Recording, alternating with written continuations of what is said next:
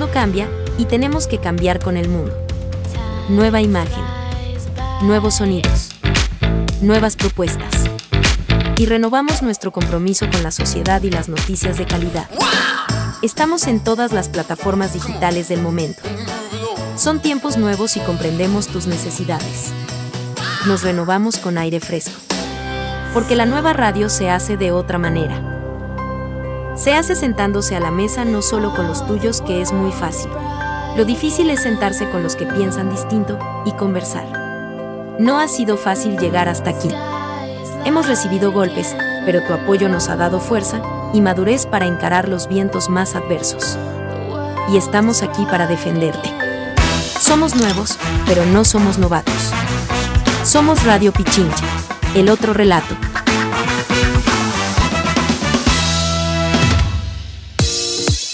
Estamos en el mundo www.pichinchacomunicaciones.com.es Los comentarios y opiniones vertidos en el siguiente programa son de exclusiva responsabilidad de sus participantes. Programa clasificación I, informativo, y O de opinión. Categoría A, apto para todo público. Arrancamos el espacio Las Guarmis del Barrio. Nos interesa saber lo que ocurre en tu comunidad y narrar esas historias. Las Guarmis del Barrio, donde todos nos juntamos, hablamos, te contamos las necesidades y las iniciativas que ocurren en tu sector. Sofía Montoya y Amparo Romero son las Guarmis del Barrio.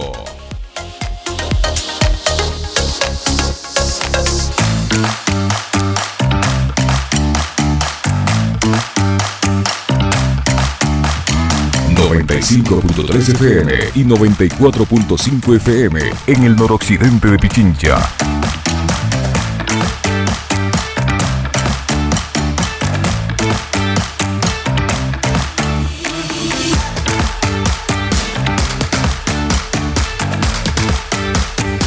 Radio Pichincha ¿Cómo estamos? Muy buenos días amigos y amigas de todo el país. Ya llegaron las guarmis del barrio a este espacio. ¿Quién les habla? Sofía Montoya y Amparo Romero, que en un ratito más se une a nosotros para conversar sobre lo que está ocurriendo el día de hoy en el país. Son las 9 de la mañana con 7 minutos en este 13 de junio de 2022.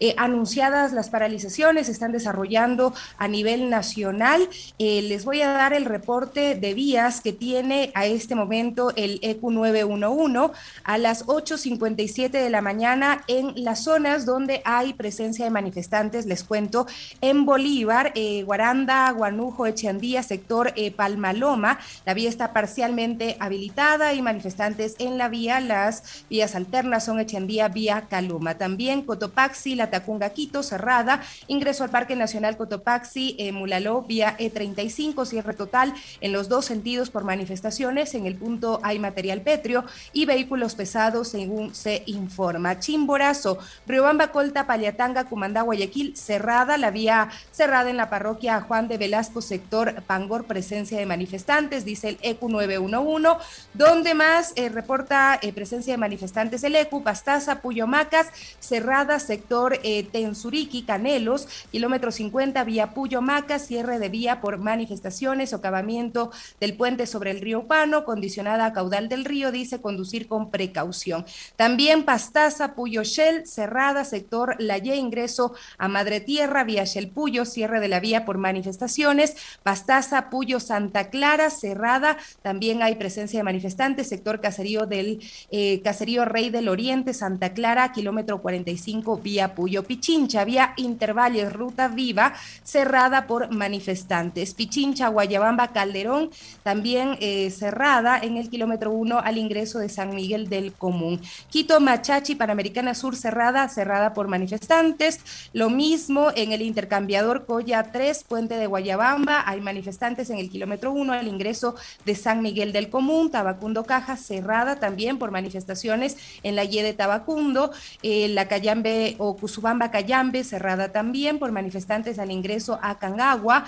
Tenemos otro reporte de la vía eh, Baños Puyo en Tunguragua, en el sector de la Y ingreso a Madre Tierra vía Puyo, cierre de vía por manifestaciones. Esto es lo que reporta a esta hora el ECU 911. Está eh, instalada también em, la Comandancia General de la Policía, los Ministerios de Defensa e Interior, han instalado un puesto de mando en el EQ 911 eh, para monitorear eh, este día de manifestaciones. Ojalá y bueno, también eh, hicieran este monitoreo con estos altos perfiles diariamente cuando la delincuencia nos acecha en el país. La prefectura de Pichincha da cuenta también que al momento se encuentra un carril habilitado en el sector de la comuna La Toglia en la vía Intervalles debido a aglomeración de personas registrada en el lugar. Es parte igual de lo que ya estábamos informando, pero tenemos varias fuentes para que estemos eh, totalmente eh, pues eh, al tanto de lo que ocurre hoy en las vías a nivel nacional. También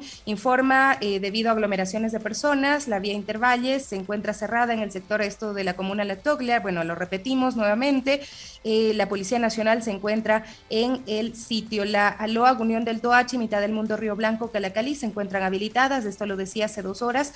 la Prefectura de Pichincha, que también ha emitido un comunicado en conocimiento del anuncio público de movilizaciones ciudadanas previstas para este lunes 13 de junio de 2022 y a fin de precautelar la integridad de trabajadores y bienes institucionales, la prefectura de Pichincha, eh, mediante memorando, ha dispuesto que los vehículos pesados y o maquinaria permanezcan en sus respectivos campamentos durante esta jornada. Se exceptúan de esta disposición aquellos vehículos pesados o maquinaria que se requieran para atender emergencias viales con el fin de restituir la movilidad de la ciudadanía. Manténgase informado por los canales oficiales de la institución. Y la AM Quito también da cuenta de algunos eh, cierres. Primero, eh, dice que hoy se han modificado los horarios del contraflujo del túnel Guayasamín. Ya se terminó a las 8 de la mañana. En la tarde empieza a las 16 horas hasta las 19 horas 30. Luego también eh, dan cuenta de que hay trabajos en el sector de la calle Carlos Freile y se mantienen cerrados los dos carriles en ambos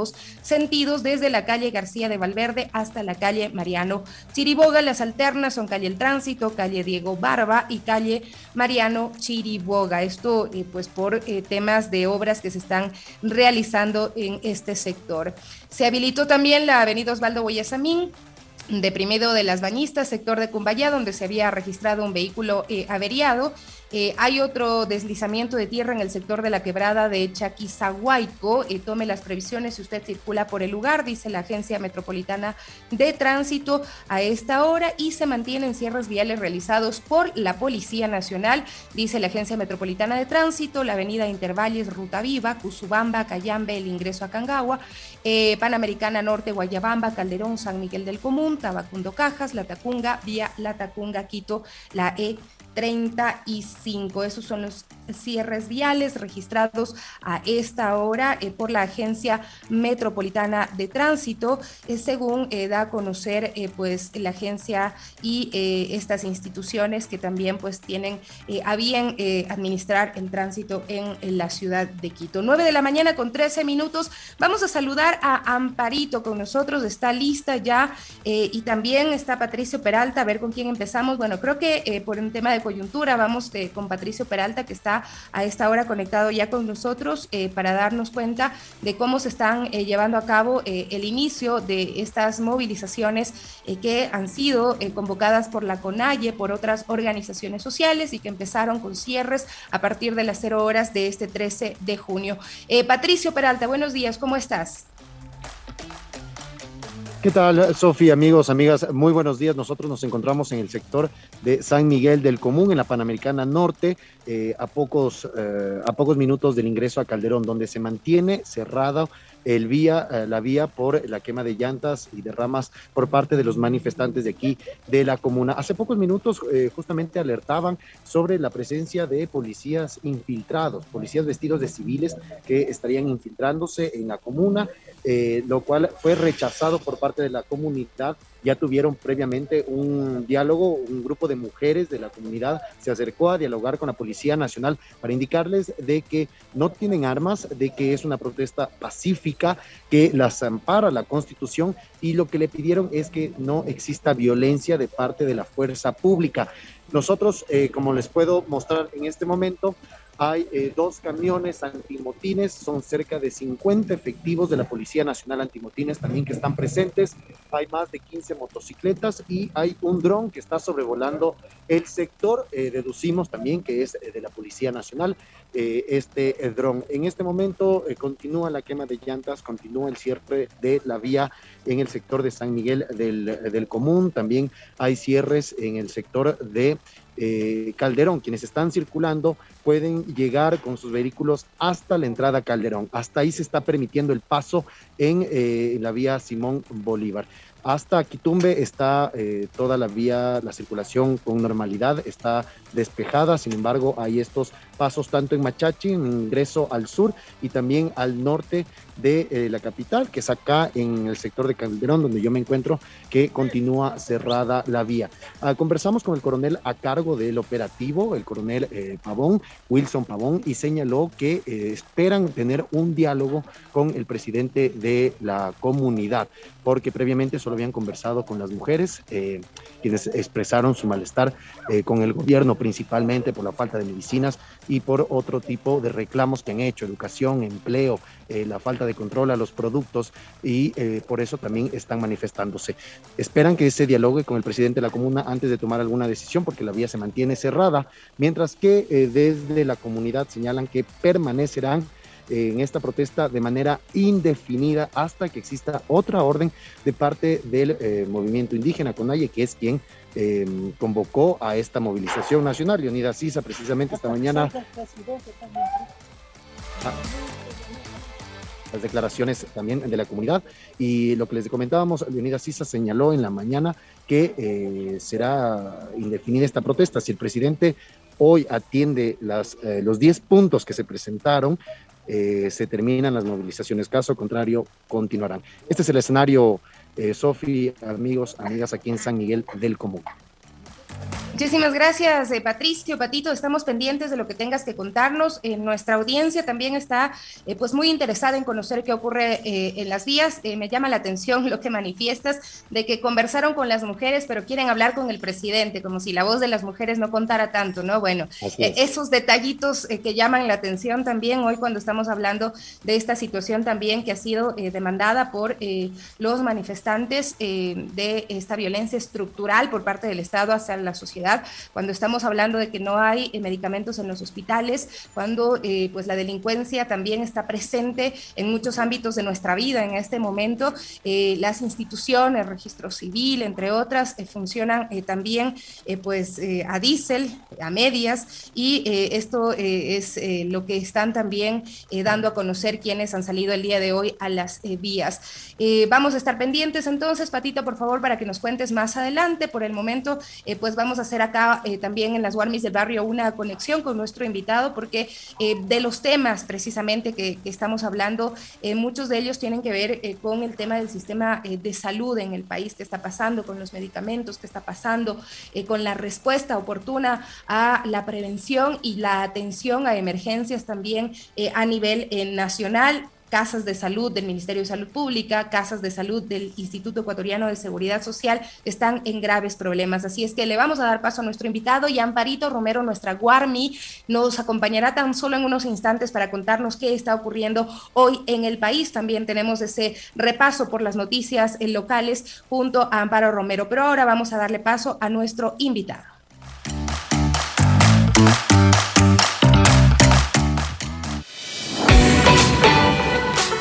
Voz cuenta.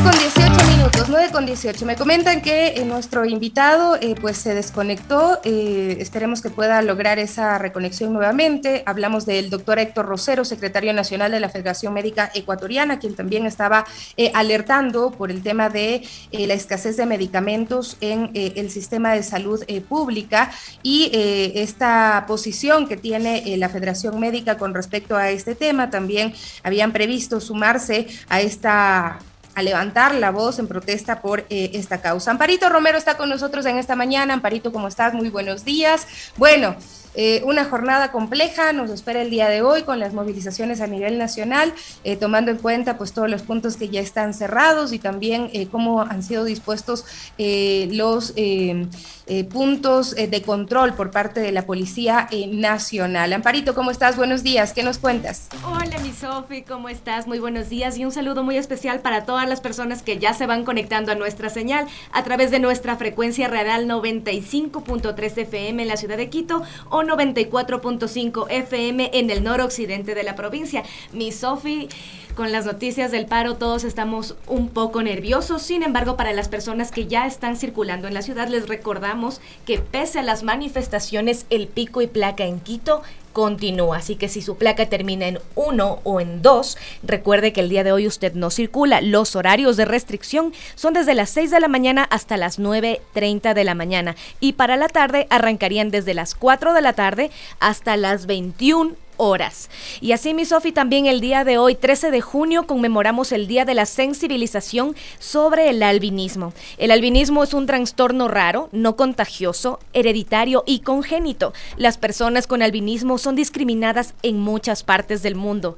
Al conocer sobre esta condición médica, se evita la discriminación y la violencia a las personas con albinismo. Recordemos que la mejor arma es nuestra educación. Y así continuamos y de hecho ya arrancamos con noticias un poco más centradas en la realidad que nos espera el día de hoy, lunes 13. Después de las declaraciones de la CONAIE de movilizaciones, el presidente Guillermo Lazo realizó una cadena nacional con mensajes eh, procurando eh, apaciguar, anunciar el diálogo, extender estos puentes que aunque suenan muy bien, recordemos que los líderes indígenas en precisamente en este fin de semana durante todos los llamamientos que hicieron, publicaron entre sus redes sociales, de hecho en la CONAIE, fechas exactas de diálogos que se han dado entre el presidente y todos estos movimientos que la verdad no han rendido frutos. Dentro de las fechas que señalan están el 11 de junio, el 5 de agosto, el 4 de octubre y el 10 de noviembre, momentos donde se intentó establecer un diálogo con el objetivo de buscar solucionar eh, toda esta situación, sin embargo no se ha escuchado nada y bueno, hemos llegado a este punto de las movilizaciones lastimosamente. Por otra parte, eh, un porcentaje de la población del un porcentaje de la población del cantón Rumiñahui se encuentra un poco preocupado debido a la ausencia del alcalde precisamente en el marco de las manifestaciones. Sin embargo, en la noche de ayer el municipio emitió un comunicado en el cual se da a entender a la ciudadanía que desde el día 2 hasta el día 16 de junio el alcalde Wilfrido Carrera no se encontrará en el país debido a una representación institucional como el primer vicepresidente de la Asociación de Municipalidades del Ecuador. En su ausencia, la vicealcaldesa, la doctora Estefanía Montúfar, se encontrará subrogando en el cargo. Así que para toda esa población que se encuentra un poco nerviosa en medio de esta coyuntura política en, en la capital en estos momentos y en el país en general, por lo menos tenemos a la vicealcaldesa que se encuentra como subrogante. Y eh, para eh, agrandar un poquito más esta situación, eh, la inseguridad es uno de los problemas que más nos preocupa a toda la ciudadanía en Quito. Se vive esta realidad en las calles, en las avenidas y en los barrios a diario. Los moradores aseguran que las bandas delictivas se movilizan en automóviles, en motocicletas, sin placas para atacar a las víctimas con armas blancas y de fuego. De hecho, cada semana se difunden en las redes sociales y en diversas plataformas del Internet videos de robos, de asaltos a transeúntes y en diferentes sectores de la urbe. Por este motivo, el día de ayer, 12 de junio, en el Parque de la Carolina, en el norte de la, de la capital, se hicieron movilizaciones que rodearon el parque. Una, una movilización muy bonita, una iniciativa muy chévere, pero la verdad no tuvo mucha concurrencia, esa es la verdad. Por otra parte, la empresa pública metropolitana de agua potable y saneamiento de Quito participó en la minga del sector Balcón del Valle, barrio La Hontanera Alta, en la parroquia de Conocoto, para desobstruir el material acumulado en el canal de la vía y retirar la maleza de los bordes y, el y despejar el camino al acceso al sector. Recordemos que estos trabajos se realizan debido al fuerte invierno que soporta en estos momentos la capital y las malas condiciones de estos terrenos provocaron deslizamientos de tierra, lodo, escombros, sobre el canal de la vía, las cunetas, que permiten el desfogue de aguas de lluvia, ocasionando taponamientos, molestia entre los vecinos. Bueno, en fin, un sinnúmero de cosas. Y antes de terminar con este segmento, eh, pudimos comunicarnos con el representante, una representante del movimiento estudiantil de transformación universitaria de la Universidad Central del Ecuador, Doménica Morales. Para Doménica le preguntamos qué sucede en realidad con el presupuesto para la educación superior consignas que se levantaron en, esta, estas manifestaciones es que se necesita un presupuesto de calidad para poder asegurar una educación de calidad dentro de las aulas universitarias, más que nada de las universidades públicas, que somos las afectadas con esta reducción del presupuesto. Porque además de ello, y esto fue también algo que mencionó el compañero Mauricio Chiluis, el presidente de la FEUE Nacional, eh, lo que, lo que se quiere, lo que, lo que se desea desde el Estado con este asunto de la reducción del presupuesto, una de las intenciones es precisamente este, lograr eh, enaltecer, por ponerlo de alguna forma, el tema de las, las universidades privadas y llegar hasta el punto de privatizar la educación pública. Y eso es algo que no, no, como estudiantes de universidades públicas, como estudiantes del pueblo, como personas de a pie, tenemos que luchar para que esto no se dé. Esa fue una de las consignas que levantamos precisamente en esta movilización. Bueno, y como sabemos, se presentó por parte de la FEUE una propuesta para la modificación de 80 incisos de la LOES, de la Ley de Educación Superior. ¿Qué implicaría esto?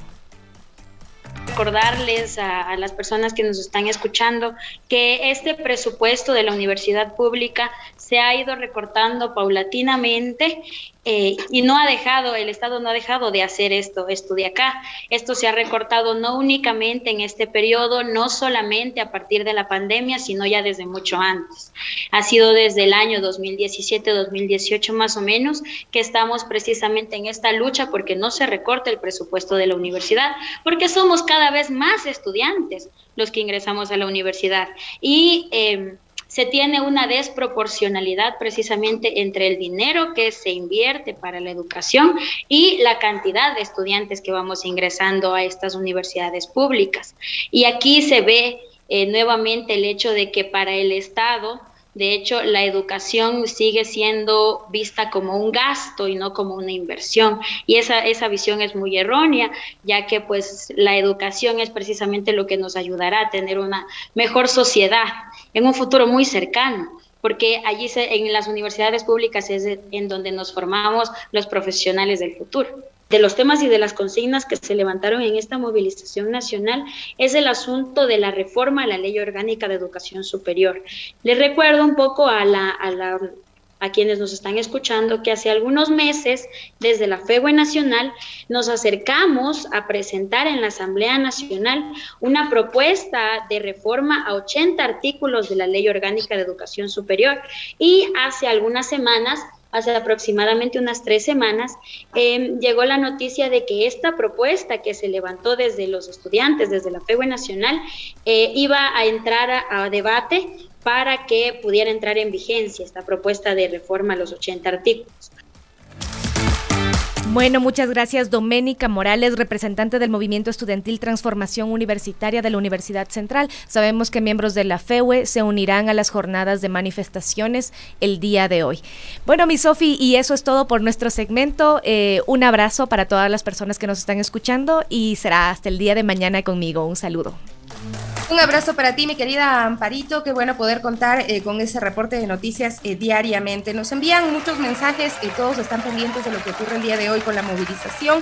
Hablan de Quito y dicen, bueno, Quito tiene calles destruidas, ojalá también se fijen en eso.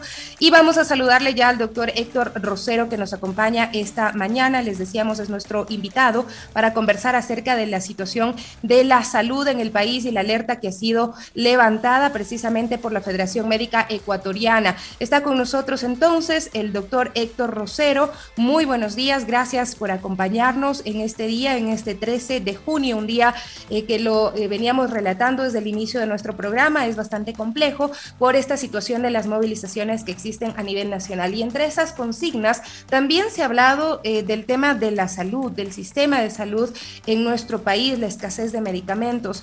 ¿Cómo está, doctor? Bienvenido, muchas gracias por acompañarnos. Muy, muy buenos días, estimada Sofía, y a los radioescuchas de lo prestigioso medio.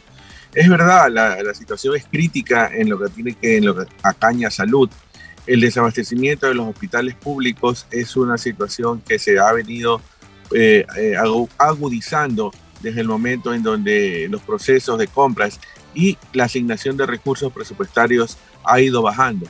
Que en desmedro de decir, no, si asignamos presupuesto, tenemos el dinero, pero realmente el dinero no llega a los hospitales para que hagan las compras. Esa es una de las partes. La otra parte es la arista de tener autoridades que no tienen la adecuada experticia y que son nombrados desde planta central y a la larga no realizan los procesos de compras adecuados, tanto de medicamentos como de insumos. Ok, frente a esta situación, eh, ¿cuál es la realidad de los pacientes? Porque estamos hablando de la realidad de los hospitales, de las dificultades que tienen, pero ¿cuál es la realidad de los pacientes? La realidad de los pacientes es que van a los hospitales y no tienen cómo tener los medicamentos que necesitan en las áreas de consulta externa. No hay, no hay antidiabéticos orales, no hay antibióticos, no hay antihipertensivos. Entonces, eh, medicamentos que son de flujo diario, son medicamentos que necesitan para su atención, para su tratamiento sus patologías crónicas y a veces sus patologías eh, urgentes en lo que tiene que ver con los cuadros infecciosos. Las cirugías están represadas, las instalaciones tienen deterioro, la, el área de tanto imágenes como exámenes, no hay los insumos adecuados, por lo tanto se paraliza esta atención que es prioritaria para que los médicos tengan un adecuado diagnóstico. ¿Y qué es lo que pasa? La ministra de Salud dice, tenemos ahorita el 67% de abastecimiento, pero ese abastecimiento no es real, ya que están, la mayoría de ellos están dados para eh, áreas en donde si hacen un análisis nacional llega al 67% de, abastecimiento, pero la mayoría son en áreas pequeñas, en distritos pequeños o en áreas de salud donde no tienen un adecuado abastecimiento, abastecimiento pero los hospitales grandes, los hospitales de las provincias grandes no llegan a veces ni al 30, 40 o a veces hasta el 50% de abastecimiento dentro que es medicamentos e insumos. La Federación eh, si puede, por favor, encender su cámara. No sé qué pasó con la imagen, eh, la perdimos, sin embargo, le estamos escuchando y bueno, es importante lo que usted está relatando, esta eh, complejidad que, viven los pacientes y también las casas de salud, porque la ministra hace unos días pues dijo que no era necesario declarar la emergencia y que, por favor, a los medios de comunicación que hablen de lo bien que funciona algunos hospitales como el Vaca Ortiz. A ustedes, ¿a qué les suena esta afirmación de la ministra y esta posición de no querer declarar la emergencia? En el sistema de salud? A no evidenciar una realidad que tienen los hospitales públicos. Hace, hace dos días el hospital eh, provincial de la, del Santo Domingo de los Áchilas, los médicos evidenciaron su realidad local. Hay una asamblea médica que está diciendo todas las situaciones que está pasando en Manabí. Recientemente han vuelto a, a nombrar a un gerente en el Hospital Delfina Concha, que es un licenciado en educación.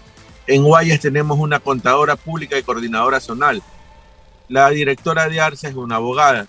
Entonces, ¿de qué estamos hablando? Tienen que haber especialistas en salud pública, personas que tengan experticia, los mejores cuadros para que manejen la salud. Pero realmente no pasa eso y desde el nivel central se nombra a quien Díaz quiera en base a situaciones políticas, qué sé yo, o de compromisos políticos en donde no se nombra a los mejores funcionarios para que manejen la salud del país. Aparte de esto, es por esto que estas autoridades no tienen el conocimiento y no se hacen las compras como deben de hacerse. Ya, estamos viendo eh, esta situación y se sigue ampliando, ¿no? El tema eh, de este caos que está viviendo lastimosamente nuestro país. Lo que pasa en los hospitales del Ministerio de Salud Pública es grave, pero lo que ocurre en el Instituto Ecuatoriano de Seguridad Social es aún más grave, más complejo. Doctor, nuevamente perdimos eh, su cámara, no sé si es que por error la desactivó, pero ¿qué pasa en el Instituto Ecuatoriano de Seguridad Social en los hospitales? Porque aquí es donde más se registra esta eh, situación que es eh, pues reclamada por los pacientes cuando dicen eh, pues no tenemos absolutamente nada para las cirugías, nos mandan a comprar desde una aguja, un hilo de sutura, absolutamente todo, las imágenes, incluso tomografías y demás, las mandan a realizar en otras casas de salud a costo del paciente, del afiliado que ha pagado durante toda su vida pues este rubro mensualmente. Sí, realmente es, caótico la situación de abastecimiento, pero se da por esta arista que le estoy diciendo. Una vez el Seguro Social tiene mucho más presupuesto que el Ministerio de Salud Pública, pero tiene autoridades que no son las adecuadas y son las autoridades que tienen, eh, que tienen eh, esta, esta situación básica de no tener cómo tratar a sus pacientes, porque no tienen los insumos adecuados y porque son autoridades que no hacen el adecuado proceso de compras. Bajo esa, para esa premisa tenemos que nosotros tener en consideración cómo realizar los procesos administrativos y, y, de compras en los tiempos adecuados. Y por eso se dan los desabastecimientos que tenemos.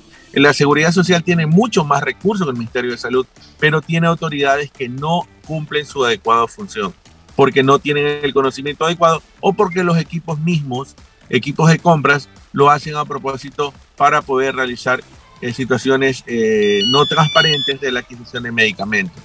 Y Lando más fino, hay quienes han alertado de que incluso podría ser eh, una decisión institucional, un poco un sabotaje para eh, pasar eh, el tema de la salud a sectores privados. Pero bueno, ese es otro tema. Eh, doctor, tenemos una llamada, vamos a darle paso, por favor, buenos días, nos ayuda con su nombre, su apellido y desde qué sector se comunica. ¿Aló? Buenos días, le escuchamos. Buenos días, niña. Laura López del barrio América le saluda. Ya, cuéntenos cuál es su inquietud con respecto a este tema de la salud. ¿Aló? Sí, con respecto a este tema de la salud, eh, ¿cuál es su inquietud o su experiencia? Disculpe, por cuestión de la, de la movilización mismo quiero dar una opinión, por favor. Claro, díganos, por favor. Señor dirigente Leonidas Isa de la CONAIE, mis saludos respetuosos. Todos los ciudadanos estamos con ustedes en esta movilización, porque ¿quién no se atreve a golpear la mesa cuando le falta el pan? salud, educación, etcétera, mejor que se vaya a engrosar el rebaño. Muchas gracias, niña. Muy amable. Bueno, gracias, muchas gracias. Eh, doctor eh, Héctor Rosero, mire lo que nos dice esta ciudadana que nos llama espontáneamente también, eh, me hace preguntarle cuál es su posición con respecto a la movilización que se está dando el día de hoy, tomando en cuenta que ustedes habían incluso manifestado que la vía era también la paralización o las movilizaciones o manifestaciones con respecto a que se debe escuchar lo que está ocurriendo en el sistema de salud hay una situación clara. Eh, la Federación Médica Ecuatoriana no eh, acude al, proceso de desestabilización del gobierno. En democracia se pueden hacer muchas cosas y manifestar nuestro punto de vista, desde, cuelga de malines, plantones, pero no nosotros como médicos no podemos parar la atención de nuestros pacientes, porque los pacientes necesitan atención prioritaria, tanto en las áreas de emergencia como en las áreas de consulta externa. Nuestra posición es levantar la voz de los médicos que es la atención de nuestros pacientes, que tengan los insumos, que tengan todos los hilos, todos los anestésicos para las cirugías y que también puedan ser atendidos en, las áreas de consulta externa, tener todos los medicamentos para su atención y que, los, y que también los médicos tengan la seguridad de que, de que eh, están respaldados por sus dirigentes.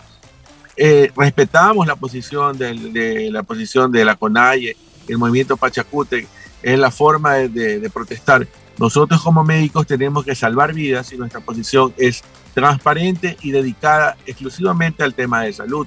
¿Y qué va a pasar si no hay eh, esa respuesta por parte del gobierno? Pues nosotros nos, reuniremos con los 23 colegios médicos del país y tomaremos las decisiones que vienen al caso. que pueden ser desde el punto de vista eh, de demostrarle al gobierno qué realmente es lo que pasa en los sistemas de salud, tanto en la seguridad social como en el Ministerio de Salud Pública y en los hospitales de la red pública, que también incluyen Policía Nacional y Fuerzas Armadas.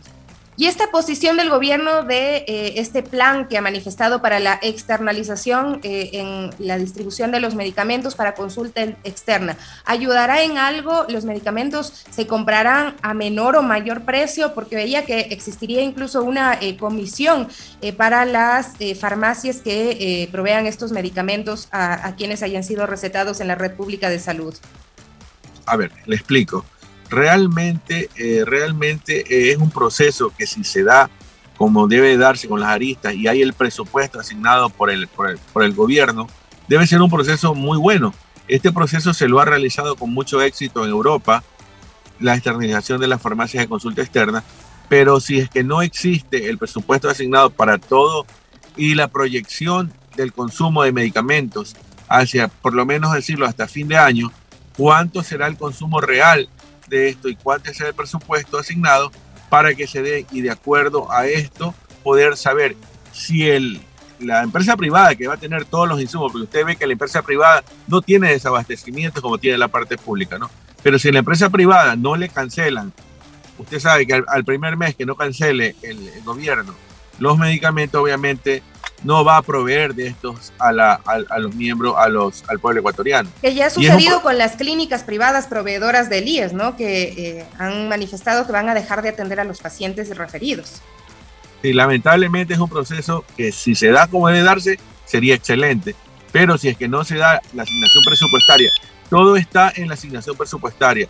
Porque realmente la ministra de Salud indica preferentemente que no hay, que hay los recursos, que se han asignado los fondos, pero realmente lo que asigna a los hospitales es muy bajo, no llega ni al 20% de las necesidades que tienen las unidades de salud para atender a los pacientes, tanto en servicios básicos como son guardianía, seguridad, alimentación, medicamentos, insumos.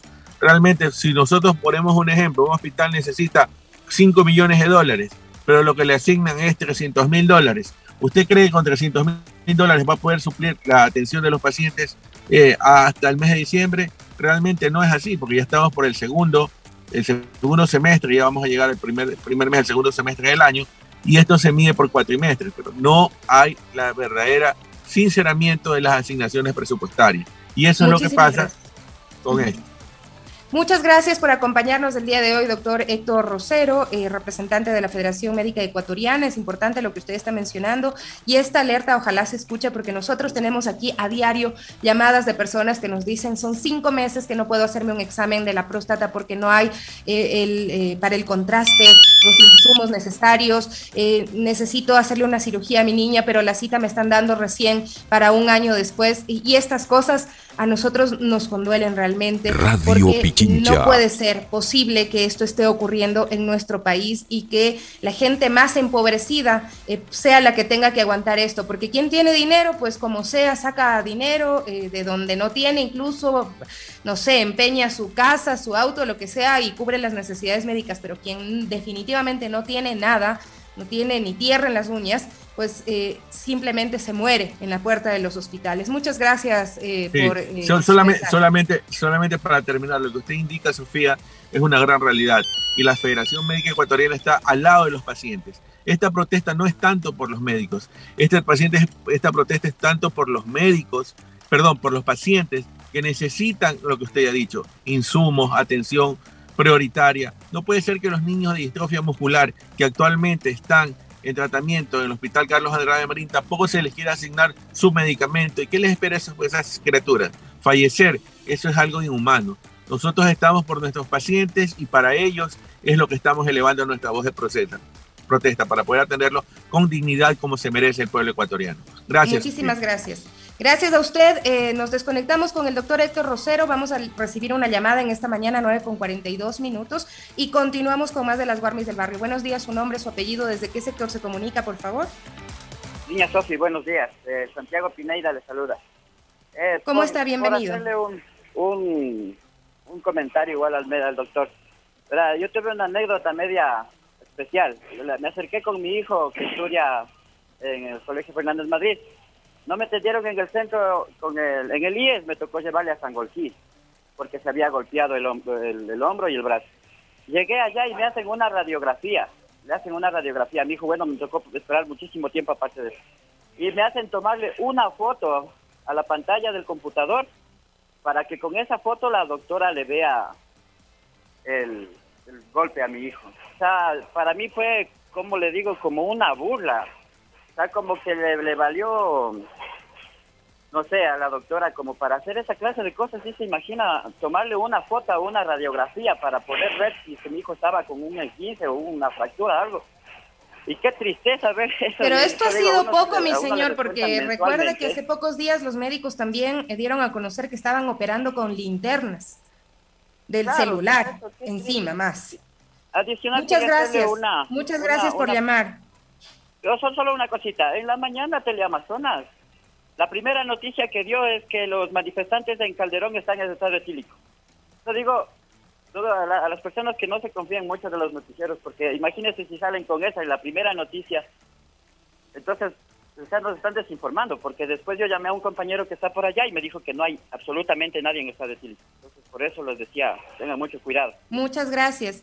Muchas gracias por llamar el día de hoy, por comunicarse con nosotros y pues eh, vamos a continuar en las Warmis del barrio. Realmente el día de hoy se suman muchas cosas, muchos temas, muchas demandas. Vamos a hacer una pequeña pausa y regresamos enseguida con nuestro siguiente invitado, eh, Rodrigo Guarderas, coordinador de ASOTRAP. Vamos a hablar qué pasa con los trabajadores autónomos en la capital. ¿Hay persecución o hay políticas de reorganización del comercio autónomo? Les contamos enseguida. Volvemos.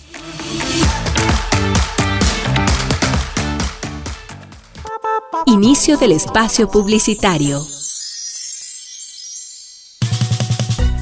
Tenemos tanto que decir, el corazón vuelve a latir.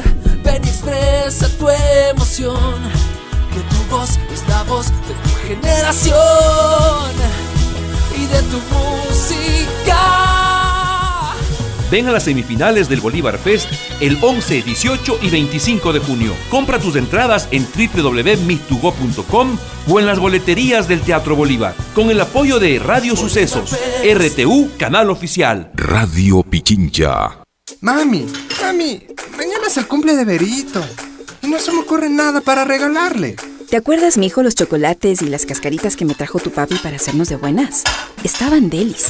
Pero, ¿y de dónde serían, mami? Mm, tu madre es pilas, mijo. Yo guardé su tarjeta. Déjame buscar. Aquí está. Choco Delis, frutos secos recubiertos de chocolate. Disfruta de una golosina saludable. Cascaritas de naranja, pasas, almendras, piña, banano y todos los sabores que te puedas imaginar. Choco Delis. Nos ubicas en el sector de San Carlos, calle Machala, N58 411 y Ángel Udeña, local de frutos secos. Llámanos al 098 454 5727. Mami, eres lo máximo. ¡Me salvaste! Fin del espacio publicitario. Manu Victoria. Un cofre. ¿Qué habrá dentro? Escondido en su casa, encontró una carta de Manuela Sáenz. No puede ser. Y al quedarse dormida, se encontró en un tiempo distinto. ¿Dónde estoy? Conoció a Manuelita no existe hombre que me haya escuchado disparar dos tiros de advertencia. La ayudó en una misión. Quisiera que todo termine. Ni siquiera piense en darse por vencida. Y ahora, en el capítulo 5, busque en el portal de su casa. Se enfrentará a la verdad. Todo fue un sueño. ¿Sabes algo del portal de la casa? ¿O fue el primer paso para cruzar una frontera increíble? Tu madre le tenía mucho cariño. Solía dibujarlo en el cuarto violeta. ¡Qué bestia! El portal 1795. Cada martes y jueves a las 14 horas, 2 de la tarde. Y el reprise a las 18 horas, 6 de la tarde. Un aporte a la cultura de la prefectura de Pichincha. ¡Sí, lo encontré! Radio Pichincha. Manuela. Hola, soy el doctor Luis Felipe Meléndez. Todos los lunes a las 11 de la mañana, luego de Pichincha Rimay, te espero en nuestro programa Tu Médico de Cabecera. Hablaremos de temas médicos que necesitas saber. Responderemos tus inquietudes. Haremos un acompañamiento a tus dolencias. No te olvides, todos los lunes a las 11 de la mañana, te espero en Radio Pichincha. Las Guarmis del Barrio. Tu voz cuenta. Radio Pichincha.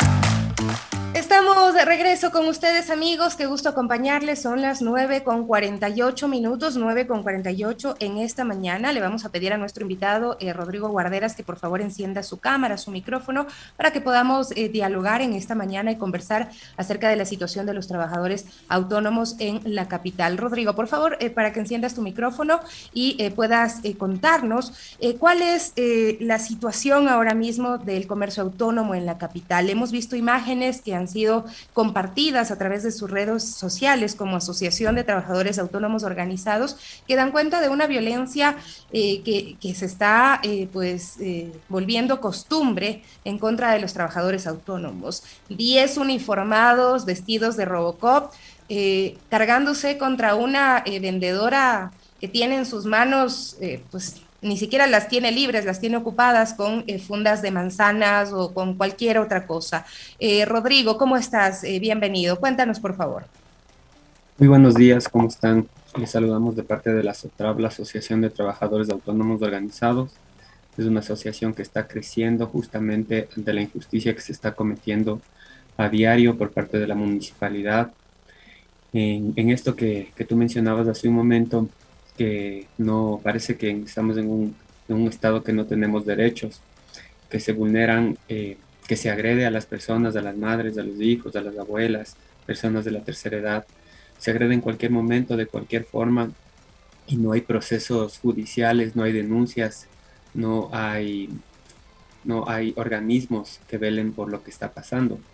Se está quitando los productos a la gente que está trabajando, si bien existe una normativa, creemos que no, que no es justificable de ningún modo que se, que se golpee a las personas por, por tratar de, de, cumplir con esta normativa. Entonces, en ese sentido, eh, lo que nosotros necesitamos es que se visibilice por una parte y que por otro lado el Estado tome su rol de garantía de los derechos, ya que las personas, como vuelvo a mencionar, se las está agrediendo y simplemente eso pasa en videos y y nadie dice nada, nadie hace nada. Y eso es algo preocupante porque la Policía Metropolitana no tiene los no tiene los fines que tiene la Policía Nacional y aún así la Policía Nacional no ha cometido esto contra los comerciantes autónomos, pero sí la, la Policía Metropolitana. Entonces no tienen ningún tipo de facultades y aún así se está reprimiendo a los comerciantes y eso es algo importante. ¿Por qué? porque salen a trabajar, salen a vender, porque en este país no hay trabajo. La mayoría de las personas estamos desempleados y lo que nos, se nos ocurre es salir a trabajar vendiendo alguna cosa, ya que no hay una industria donde uno se puede emplear, donde uno pueda desarrollarse para ganar algún sueldo. Los comerciantes autónomos están en indefensión, ya que no se tiene un seguro, no se tiene un salario, no se, tiene, se trabaja más horas. Entonces es algo, es algo súper crítico que está pasando y el sector eh, de la población que trabaja en el comercio informal no es, no es minoritario. Solo en Quito existen más de 100.000 comerciantes, muchos de ellos son eh, madres solteras, personas de la tercera edad que no consiguen un trabajo. Entonces eso es lo que está pasando aquí en Quito, en otras ciudades también, pero una, una política nacional contra, contra estos abusos, contra esta violencia no, no existe y más bien se hace, se hace la vista a un lado por parte del gobierno y los municipios siguen abusando de, los comerciantes. Rodrigo, ustedes tienen registrados muchísimos de estos videos con agresiones. ¿En ningún caso se ha podido sancionar a los agresores? Es muy difícil, es muy difícil porque como tú dices tenemos bastantes videos, sin embargo existen cosas importantes por las que no se puede denunciar.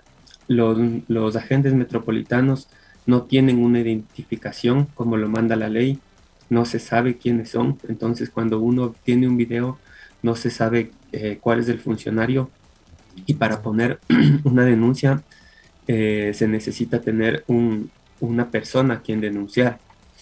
Eso, eso por un lado. Segundo, eh, no se puede denunciar si no hay una agresión ya más fuerte, digámoslo, como lo que vimos del video del martes de la persona, simplemente le arranchan y eso no, no genera una lesión, entonces, entonces no, no avanza la denuncia.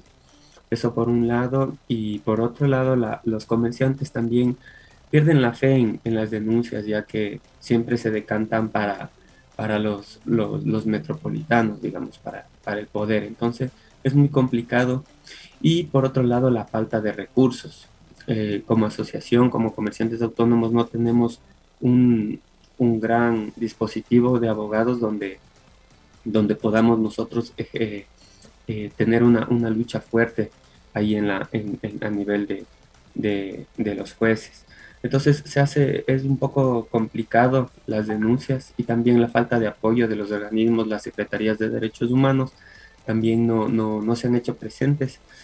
Eh, más, allá de la, más allá de los comentarios que se generan en las redes sociales, pero en, en realidad se necesita eso, o sea, el apoyo de la sociedad, no solo en las denuncias, también reconociendo quiénes son estos actores que generan la violencia, como Daniela Valareso, como el alcalde, como el secretario, eh, el director de la Policía Metropolitana, los cuales simplemente no les interesa, no les importa, no se debate de esto y la represión continúa. Y eso nos parece algo muy injusto y que por eso se está generando la reacción de los comerciantes en las calles y nosotros cada vez estamos creciendo en las calles y reivindicando el derecho al trabajo y la no violencia hacia los comerciantes que no tienen otra opción de trabajar. Mira, aquí justamente ustedes habían publicado un video que muestran en el centro histórico de Quito, los agentes de Quito acaban de agredir a una mujer vendedora. Los decomisos y violencia es a diario, la represión hacia los más pobres eh, se han vuelto política del municipio, dicen. Eh, se creen con poderes extraordinarios porque un comerciante no tiene los recursos para ponerles un juicio a los agresores. Hay que tener en cuenta que las autoridades, eh, pues, no les importa nada, ¿no? Y muestran la imagen de una mujer golpeada en la nariz, también le botaron gas lacrimógeno, entiendo que era gas lacrimógeno eh, directamente a los ojos o gas pimienta y eh, se ha quedado con los ojos totalmente enrojecidos, eh, está desesperada esta, esta chica, esta jovencita, ¿no? Que, que ha sido pues una de las agredidas. Pero te voy a preguntar qué pasa del otro lado, porque quienes ven de fuera la situación, quienes tienen un empleo, donde trabajan o trabajamos eh, 8 o 10 horas a lo mucho diariamente eh, y tenemos un sueldo a fin de mes, eh, nos parece a veces como que eh, la ciudad está desordenada y hay demasiado comercio informal. Hay calles, avenidas que están también tomadas y que ni siquiera hay cómo transitar. frente a esto, ¿cuál crees que sería la el planteamiento de parte de los trabajadores eh, autónomos para poder un poco ordenar eh, la ciudad eh, con el comercio autónomo. Sí, exactamente. Para eso voy a tomar el, como ejemplo el centro histórico. Existe bastante comerciante, existe a veces dificultad de la movilización. Entonces, ¿qué es, lo que, ¿qué es lo que ha hecho el municipio? Es decir, simplemente no, no puede haber comerciantes entonces niegan el derecho a la ciudad a un sector de la población que, recalco, no tiene empleo, no es que un comerciante está saliendo porque le gusta. Em, entonces niegan ese espacio, pero en vez de organizarlo, en vez de decir, bueno, existen varios sectores y es necesario tener una organización. Entonces lo que nosotros como asociación, como Asotra, hemos presentado es una propuesta en la que se dé un margen de ciertos comerciantes que puedan trabajar en ciertas calles, en ciertos horarios, con identificación, llevando su mercadería en las manos. ¿Para qué? Para que no, eh, no se genere esto que nosotros también lo consideramos que no está bien, que no está bien, incluso, incluso se genera a veces inseguridad por el tumulto de personas. Entonces hemos presentado en el, en el municipio a las diferentes instancias de comercio que se pueda generar un desarrollo del comercio eh, ordenado, tratar de ordenarlo, no solo reprimir, sino ordenarlo, llevar a, cabo planes. Ahí existen plazas que se pueden hacer ferias, existen calles que se pueden, que permiten un poco más el, uso del, espacio. Entonces, de esa forma, o sea, ese sería el, el papel. Pero esto pasa por el reconocimiento del comercio autónomo, ¿no? Porque si es que no se reconoce, simplemente se dice no tienen derechos, ¿no? Y ahí eh, yo me pregunto qué pasa con todas estas personas el momento en que les quitan la mercadería, en el momento en que tienen que regresar a, sus casas eh, sin absolutamente nada, ¿no? Porque luego eh, también te quería consultar y tenemos solamente dos minutitos, te ruego que seas breve. ¿Qué ha pasado con la aplicación de esta ordenanza del porte de arma blanca? Porque veo que los principales, el, primer foco de, de estos operativos han sido justamente los comerciantes autónomos. ¿Cómo les ha ido con eso? ¿Cómo ven ustedes? ¿Hay una respuesta también desde el punto de vista legal cuando se les quitan las herramientas? Claro, es, una, es algo complicado porque muchos comerciantes eh, utilizan, utilizan un cuchillo para pelar unas naranjas, para pelar cualquier cosa, para partir los, los, las salchichas, no sé, muchas cosas, ¿ya? Entonces, eh, lo que tienen que, se supone que tienen que hacer es eh, justificar justificar la, la, el porte de esto, de, esta, de este cuchillo.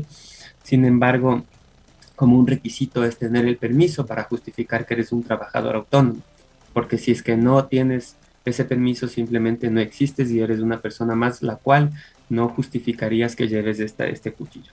Entonces justamente afecta de manera importante a los comerciantes y eso no es tomado en cuenta eh, a nivel del municipio no se ha tomado en cuenta y eso perjudica bastante a, los comerciantes. Es eso, o sea, es invisibilizar eh, que hay comerciantes, que hay una problemática y todo es, tienen que regularizarse, tienen que estar en los espacios permitidos, pero si hay 100.000 comerciantes, más de 100.000 comerciantes y eso está en estudios universitarios, no, eh, y, y, simplemente solo 3.000 personas tienen el permiso, entonces no se puede seguir bregando por la, por la regularización.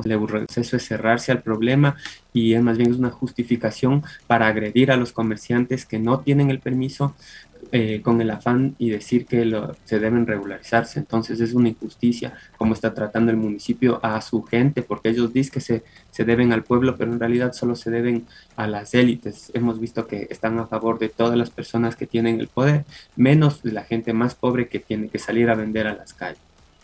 10 de la mañana en punto. Eh, Rodrigo, muchísimas gracias eh, por acompañarnos. Ya tenemos que despedirnos. Te voy a pedir un comentario de 30 segundos sobre las movilizaciones del día de hoy.